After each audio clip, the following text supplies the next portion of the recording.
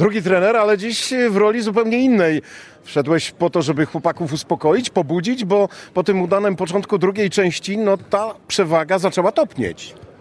E, No dokładnie. Prowadziliśmy tam 10 bramkami, później nagle albo my zaczęliśmy źle rzucać, albo, albo bramkarz przeciwnika zaczął odbijać nam te piłki, takie setki zdecydowanie. No i końcówka się zrobiła nerwowa. No, w naszej sytuacji kadrowej no, ciężko też wymagać od chłopaków, żeby tak naprawdę dzisiaj grali no, prawie w, powiedzmy w 3,5 w ataku na rozegraniach. I, no i muszę, muszę teraz ich wspomagać. Nie wiem, czy mi się udało do końca, ale, no, ale dowieźliśmy to zwycięstwo, wygraliśmy, także to się ceni i, i to się liczy. Powiedzmy coś o tej sytuacji kadrowej. Kogo brakuje? Pawła Potrzebą to jest pewien amen. E, No, prawdopodobnie tak, do końca sezonu nam wypadł Paweł, e, nie ma Dawida Rumkę. To są takie urazy, powiedzmy, no drobne, ale no 2-3 tygodnie jeszcze będą pauzować i, no i Szymon Światłowski, który już nieobecny jest tam e, w parę poprzednich meczach. To teraz zapytamy jeszcze o poniedziałek, o pucharowego przeciwnika. E, Znasz ich doskonale, wiele sezonów twoich w Orlen Superlidze. Co możesz powiedzieć o tej drużynie, której teraz troszkę nie idzie? Jest szansa? E, Myślę, że tak, bo no wiadomo, oni też grali teraz ciężki mecz wczoraj e, z Legionowem, tak, to był dla nich mecz powiedzmy o 6 punktów i na pewno się skupiali na tym.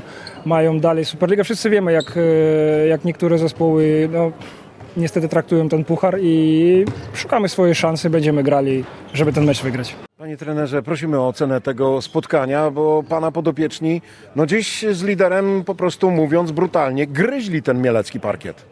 No my tu przyjechaliśmy generalnie z takim założeniem, że mamy gryźć ten parkiet, bo widzieliśmy swoje szanse e, w tym meczu i wbrew pozorom e, ja uważam, że mieliśmy szansę wygrać ten mecz. E, Nawet przegrywając gdzieś tam sz- szóstką chyba bodajże, czy siódemką w drugiej połowie, to ja wierzyłem do końca, że my możemy dociągnąć ten mecz. Gdzieś tam błędy takie nasze proste, niewymuszone błędy, widać, że to, to mój zespół, to młody chłopaki i no i zabrakło może troszeczkę takiego doświadczenia gdzieś tam w takich ważnych momentach. No szkoda, trudno, teraz walczymy dalej, mamy następne mecze przed sobą i na pewno nie zwieszamy głów. I obiecujemy na pewno, że w każdym kolejnym meczu będziemy dalej gryźli ten parkiet i myślę, że będzie coraz lepiej.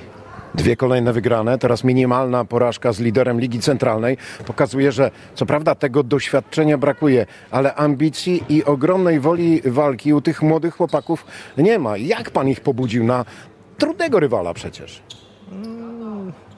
Nie wiem, czy musiałem, nawet nie, nie trzeba było, na takie mecze nie trzeba pobudzać za bardzo zespołu. My gdzieś tam mamy od jakiegoś czasu, jako że jestem nowym trenerem w tym zespole, swoje cele, które chcemy realizować i właśnie jednym z nich jest to, żebyśmy nie odpuszczali do samego końca, niezależnie od wyniku, bo jak widać też po poprzednich meczach, gdzie z Legnicą też przegrywaliśmy no, praktycznie mm, też szóstką czy siódemką i udało się wygrać, także wiara, wiara, jeszcze raz wiara, plus założenia nasze taktyczne i w obronie i w ataku i ja myślę, że będzie dobrze. To między innymi twoje akcje dały nam taką wysoką różnicę, 10, o, e, 10 trafień, 24 do 14. A Filip, co się potem stało? Trochę niedokładności, nonszalancja? Nie, ja myślę, że tutaj zmęczenie głównie, bo gdzieś tam yy, wiadomo, no nie chcę, nie chcę zwalać, ale jesteśmy troszkę osłabieni, gdzieś tam mamy ten skład, tą kadrę trochę węższą i wydaje się mi, że tutaj trochę zabrakło tej chłodnej głowy. E, No i wiadomo, koncentracja wraz z zmęczeniem również idzie w dół, e, także myślę, że to był, to był ten powód. Ale czy w głowie czasem nie było tego poniedziałku spotkania z e, przeciwnikiem z Orlen Superligi i trzeba troszkę tych sił zostawić na takiego, no jednak rywala z wyższej półki? U nas zawsze następny mecz jest tym jedynym i najważniejszym, dopóki on się nie odbędzie. E, dopiero teraz możemy myśleć o Piotrkowie, kiedy ten mecz się zakończył tak jak chcieliśmy.